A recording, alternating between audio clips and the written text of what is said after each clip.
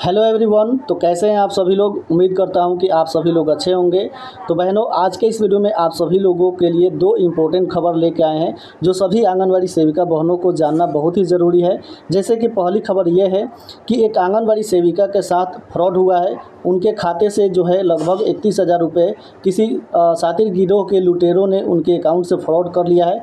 ये घटना किस प्रकार से हुई है? कैसे आप लोगों को इस घटना के बाद सावधान रहना है? ठीक है और दूसरी जो इम्पोर्टेंट खबर है, वो बिहार आईसीडीएस निदेशालय की तरफ़ से आप सभी के लिए एक इम्पोर्टेंट जो लेटर है, वो भेजा गया है कि बिहार के जितने भी आंगनबाड़ी केंद्र हैं, जहाँ पे पोशाक हेतु जो डीबीटी के माध्यम से बच्चों के लिए राशि भेजी जाती है, उनका सत्यापन करने के संबंध में यहाँ पर लेटर भेजा गया है। डेट यहाँ पर देख पाएँगे, चार दस दो का ये इम्पोर्टेंट लेटर है। तो दोनों खबर के बारे में हम लोग बात करेंगे। तो चलिए सबसे पहले हम पहली खबर की ओर बढ़ते हैं। आप लोग इस वीडियो में बने रहिएगा, ठीक है? किस प्रकार से सेविका के साथ फ्रॉड हुआ है और कैसे आप लोगों को भी सावधान रहना है? देखिए, ये जो खबर है, वो बिहटा की है। ठगी करने वाले सातिर गिरोह हर रोज़ नए तरीके का इस्तेमाल करके लोगों को अपना निशाना बना रहे हैं। सोमवार को ठगी के इस गिरोह ने एटीएम कार्ड बदल कर एक आंगनबाड़ी सेविका के खाते से पलक झपकते ही इकतीस हज़ार रुपये उड़ा लिए। देखिए, ये जो गिरोह है, वो एटीएम कार्ड बदल कर किस प्रकार से आंगनबाड़ी सेविका के खाते से इकतीस हज़ार रुपये उड़ा लिए? घटना के बाद जो है, पीड़ित की कहानी सुनकर आम लोगों के साथ साथ पुलिस भी हैरान है, क्योंकि अभी तक ऐसे गिरोह में सिर्फ़ एक इक्के दुक्के लोग ही शामिल थे थे जो कि एटीएम कार्ड बदल कर घटना को अंजाम देते आ रहे थे।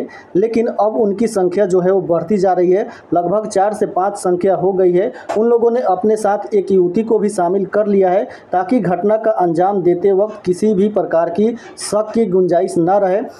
आंगनबाड़ी सेविका का कहना है कि जब वो एटीएम पहुँची अपने पति के साथ पैसे निकालने के लिए तो वहाँ पर एटीएम के पास एक युवती मौजूद थी पहले से ही, जो काफ़ी देर से एटीएम में कुछ छेड़छाड़ कर रही थी। उसके निकलने पर जब मेरे पति अंदर गए तो पाया कि एटीएम कार्ड स्वाइप नहीं हो रहा है। और कुछ सेकेंड के बाद वहाँ पर मौजूद लड़के एटीएम कार्ड के अंदर आ गए और उनमें से एक लड़के ने उनके पति से कार्ड लेकर उनकी मदद करने के नाम पर ऑपरेट करना शुरू कर दिया और उनका एटीएम जो है वहाँ पे डालकर उनका पिन बदल लिया और कार्ड को बदल कर उनके ख़राब होने की बात कहकर उन्हें विदा कर दिया।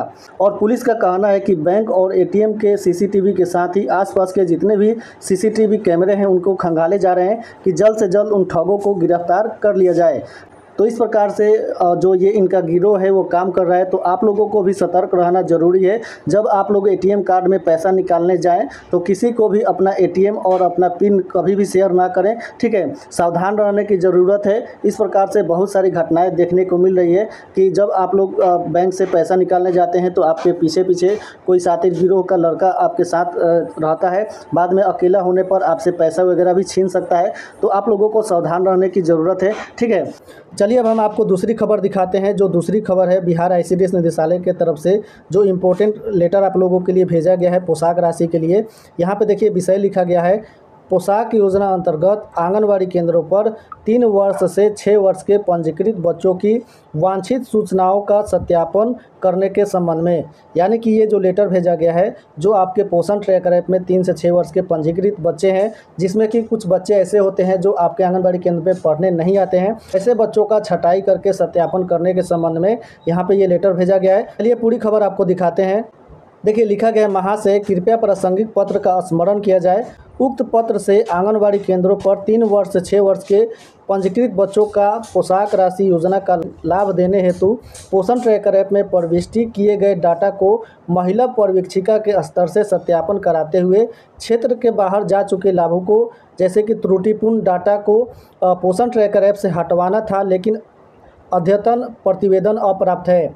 जैसे कि इसके पहले भी लेटर भेजा गया था आप लोगों को कि जो आपके पोषण ट्रैकर ऐप में बच्चे रजिस्टर हैं, जो बच्चे आंगनबाड़ी केंद्र नहीं आ रहे हैं, किसी दूसरे स्कूल में जा रहे हैं, या ऐसे बच्चे जो गलती से वहाँ पर रजिस्टर हो गए हैं, ऐसे बच्चों का वहाँ से पोषण ट्रैकर ऐप में से डिलीट करवाना था, लेकिन वो अभी तक काम नहीं हुआ है। इसकी जो जिम्मेवारी है महिला पर्यवेक्षिका को दी गई है, ठीक है? अतः पुनः अनुरोध है कि पोशाक योजना अंतर्गत तीन वर्ष से छः वर्ष के आंगनबाड़ी केंद्रों पर पंजीकृत बच्चों की वांछित सूचनाओं का सत्यापन कर एक सप्ताह के अंदर प्रतिवेदन देना सुनिश्चित करें ताकि आगे की कार्रवाई की जा सके। इस प्रकार से आप लोगों के लिए जो है कि आईसीडीएस से लेटर भेजा गया है कि पोषण ट्रैकर ऐप पर ये जो काम है, आप लोगों को एक सप्ताह के अंदर कर लेना है ताकि आगे जो है इसका कार्रवाई करके जो बच्चों की पोशाक राशि का पैसा है, उनको भेज दिया जाए। ठीक है?